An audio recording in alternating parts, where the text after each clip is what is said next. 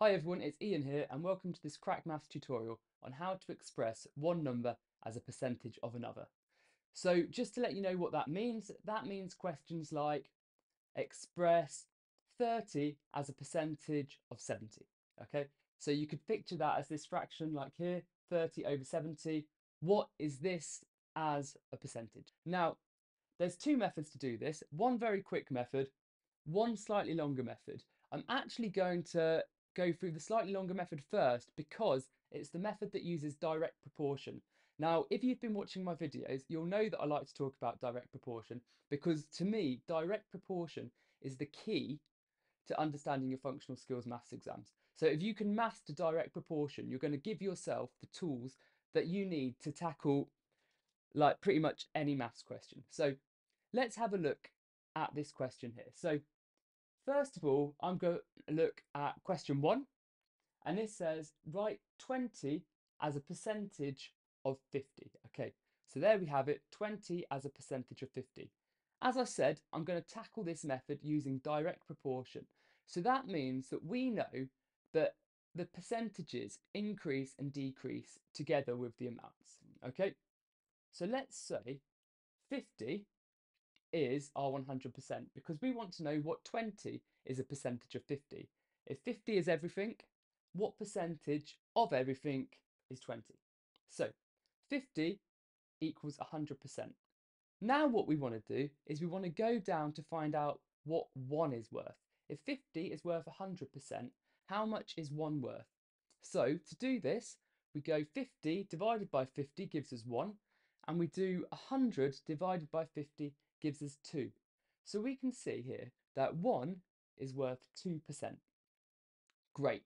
Now, if 1 is worth 2%, all we can do now is find out how many 20 is worth. So 1 times 20 gives us 20, 2 times 20 gives us 40. So we can see here that 20 is worth 40%. So there we know 20 is 40% of 50. Perfect. Okay, let's have a look at question 2. Here we have express 75 as a percentage of 150. So 150 equals our 100%. So we divide this by 150. So 100% divided by 150, I'm going to use the calculator for this question. So 100 divided by 150 equals 2 thirds, which is also equal to 0.6 recurring. Okay, that means 0.66666666666. Okay, so we know that 1 is worth 0.6666666. We want 75, so we're going to 1 times 75 gives us 75. 0.66666 times 75 gives us, one second, 50. Ah, yeah, and that's correct. 50. And yet that's correct because 75 is 50% of 150, which we sort of knew anyway because it's half. 75 is half of 150, 50% of 150 is another way of saying half, so 75 is 50% of 150. Okay, let's move on to question three. So here we go. Write 40 as a percentage of 80. Okay, so again, this time 80 equals 100%. Now let's divide it by 80 to find out how much 1 is worth. So 100 divided by 80 equals 1.25. So we know in this situation 1 has a value of 1.25%. Okay, that's great. And now, now that we know that 1 is worth 1.25%, we can times that by 40. Okay, because 40 times 1 gives us the 40 and 1.25 times 40 equals 50. So again, we can see that 40 is 50% of 80. Okay, I want to try one more question here that's a little bit more complicated because sometimes we get these values as decimals, okay? And so decimals are more complicated because they're, they're just harder to look at, they're harder to read, they're harder to comprehend. So this time what I'm going to say is write down 1.29 as a percentage of 7.3. So 1.29 as a percentage of 7.3.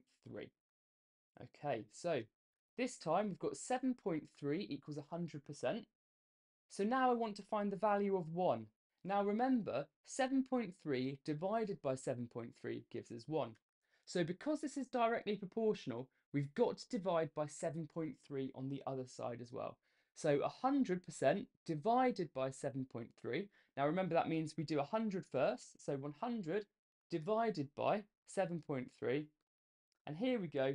That equals 13.69863014. So that is our value of 1. Okay. If 7.3 is 100%, 1 is 13.69863014%. Okay, now we want to find out how much 1.29 is as a percentage. So we know that 1 is worth 13.69%, so we multiply this by 1.29 and that equals 17.67. So we would know that 1.29 is 17.67% of 7.3. Okay, right, let's continue with the easier method. This method simply relies on you turning the, the numbers into a fraction and then multiplying it by 100. So remember when we were turning fractions into percentages, we do the top divided by the bottom and then we multiply them both by 100. So let's have a look at question one. So here we have 20 as a percentage of 50. So remember it's 20 over 50 is the fraction, okay? So that's going to be 20 divided by 50 multiplied by 100. So that is 40%. Okay, let's look at question two. So here we go, we've got 75 as a percentage of 150. So that's 75 out of 150. So 75 divided by 150 times 100, and that equals 50%. Okay, next what we have is we've got our third method, which is 40 as a percentage of 80. So here we go, 40 divided by 80 times 100, 50%. And then lastly, let's try the decimal question because it's the same principle.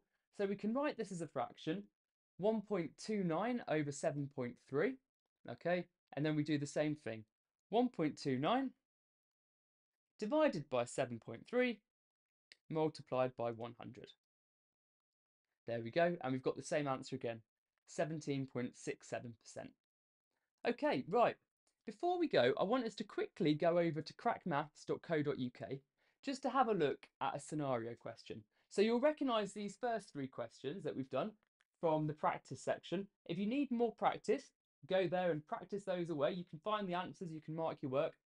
But if you want to have a go at these questions in context, because we know that that is often where we fall down, um, we're, we're going on to that now. So stay with us and let's have a look. So I know I've told you the easy method, but just for these questions here, I'm going to go over the, I'm going to do the direct proportion method as well, well, because I really believe that if you take the time to understand direct proportion, it opens up the whole of functional skills.